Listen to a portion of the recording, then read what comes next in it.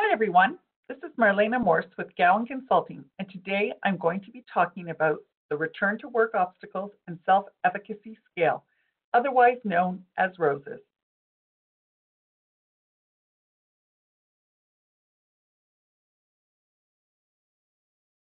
Musculoskeletal and mental health disorders were the top two conditions for workplace claims for sick benefits in 2011.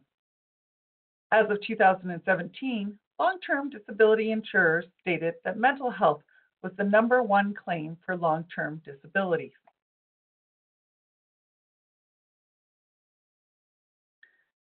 Therefore, the IRSST looked further into the factors that caused employees not to return to work related to common mental health and musculoskeletal disorders.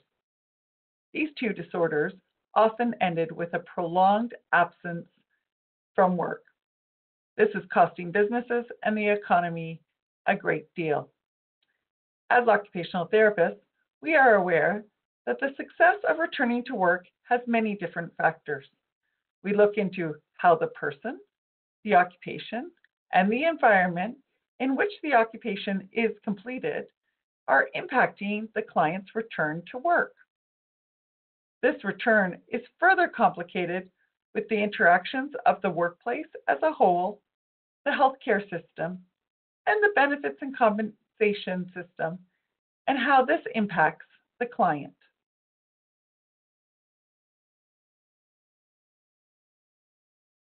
The Return to Work Obstacles and Self-Efficacy Scale was developed by the IRSST in 2016. The members of the, this group are listed on the slide. It was meant to be used to spark a dialogue about the 10 dimensions that they saw as an obstacle to return to work and determine if an employee felt that they had the coping strategies to overcome those obstacles. The 10 determinations were determined by research um, literature research and noting that there was many commonalities between common mental health disorders and musculoskeletal. They came up with an assessment consisting of 46 questions with two parts to each question. I use the roses when the employee is ready and capable of handling the conversation about returning to work. At times, this is not appropriate for the initial assessment. If the client is not getting out of bed, not getting dressed, and not handling most of their ADLs, it might be premature to complete the roses with them. For me, I usually use this assessment tool when the client is about three to four weeks away from starting work. Alternatively, if you have not been working with the client, but the initial meeting is at a facilitated return to work meeting and they are going to bat to work immediately, you might start the conversation with the use of this tool. Either way, I use this tool as part of my interviewing skills to discuss the issues that might be present when returning to work. When I present the roses, I have many clients who become anxious about this tool because it talks about mental health in the title. I preface the use of the assessment discussing how physical health is on a continuum.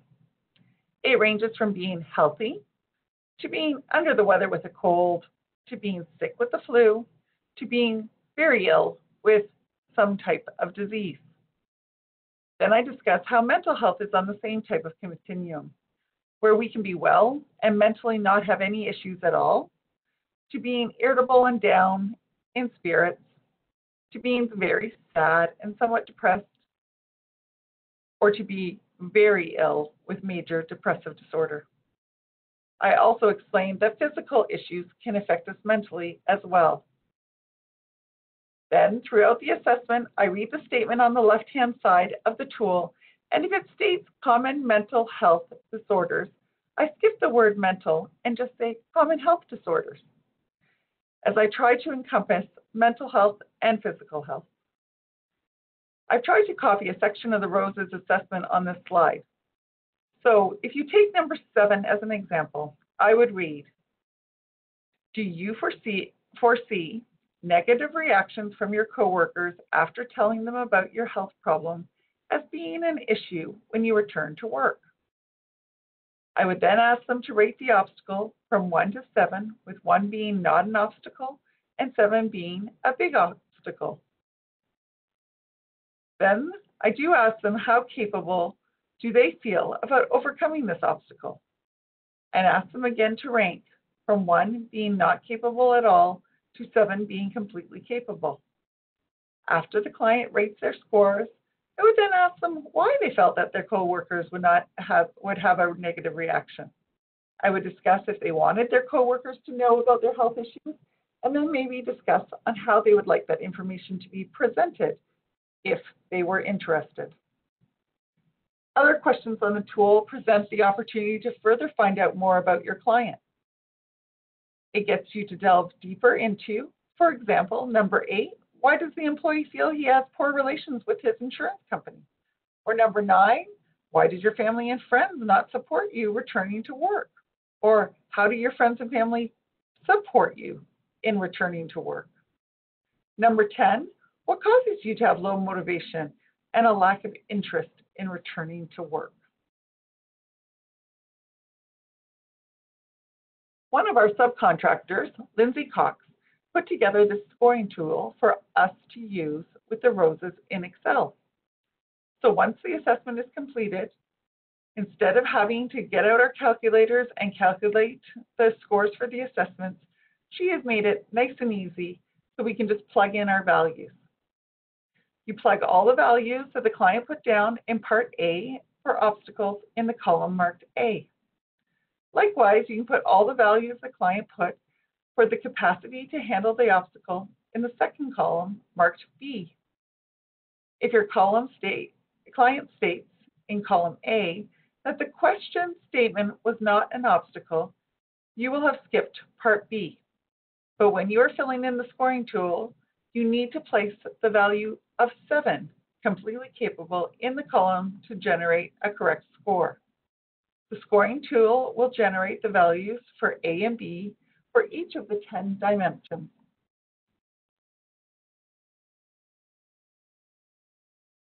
Once you have a value from the scoring tool, you plot that into the interpretation table. The problematic range is more severe than the general problematic range. The greatest factors that predict issues with returning to work with a mental health disorder is cognitive difficulties and job demands whereas the greatest factors that predict issues with return to work with a musculoskeletal disorder is fear of relapse, job demands, feelings of the or, uh, feeling of organizational injustice, and difficult relations with their immediate supervisor. This is an example of what I write up to reflect the dimensions that the client has been reporting difficulties with in my report.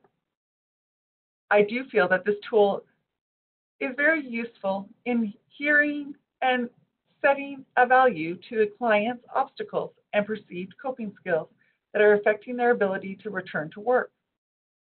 It can also be helpful to assist in determining the direction of treatment and the strategies that are going to be taught to the client depending on where they feel they are lacking coping. So to sum up, I do feel that this tool is very useful in hearing what the client feels their obstacles and perceived coping skills are. It helps workplaces realize that they need to have realistic work accommodations and they need support for their employees to return to work if a successful return to work is warranted and wanted. This assists the clients to have insight on obstacles that they may find are barriers and their capacity to handle those obstacles. I find the best use of this tool is that once you've been working with the client for a while, when you re-administer the roses, after they've returned to work, and have learned some of the coping skills. It's always nice to be able to show with a value to your client how much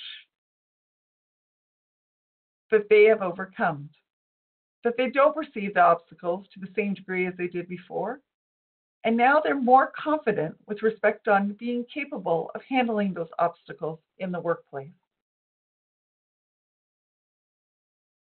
Thanks for listening to a quick run through on how I use the roses with my clients. I hope that I've been able to shed some light on how you can use the roses in your assessment and throughout your treatment with your clients. Hopefully, I provided you with some practical information that you can use in your practice. Take care and have a wonderful workday.